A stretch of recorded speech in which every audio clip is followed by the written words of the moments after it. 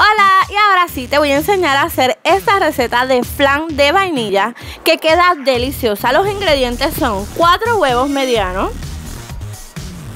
azúcar, aproximadamente vamos a usar una libra, este paquete es de 2 libras, vainilla blanca, una lata de leche condensada y una lata de leche evaporada.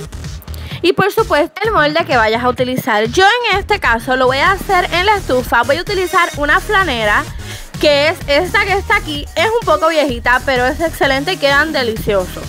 Se hacen en la estufa a baño de María. Así que vamos a comenzar con los ingredientes.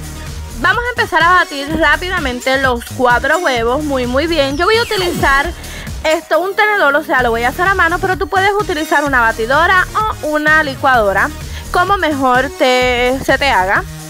Vamos a añadir las dos leches. No hay esto porque añadir unos primero y unos después. Añades todo de un cantazo. El chorrito de vainilla. Chorrito porque yo no me medí. Pero si tú quieres me, esto, porciones exactas, dos cucharadas está más que bien.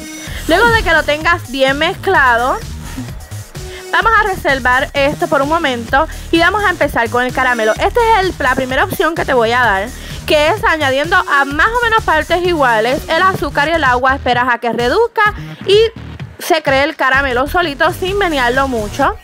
Y la otra opción te la voy a mostrar ya prontito.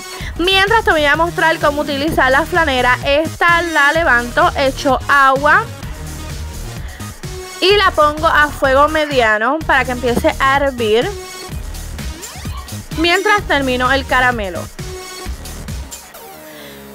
La segunda opción es utilizar una cacerola y vas a echar el azúcar, no vas a añadir agua, solamente vas a dejar que ese azúcar se disuelva solamente y, creas rápidamente el caramelo. Esta opción es mucho más fácil, más rápida, pero tienes que estar muy pendiente a que no se te queme. Luego a rápidamente a vertir todo este caramelo en tu flanera lo vas a revolver muy bien, que todo donde tú vayas a meter, la mezcla te quede muy bien y añades las mezclas de el flan.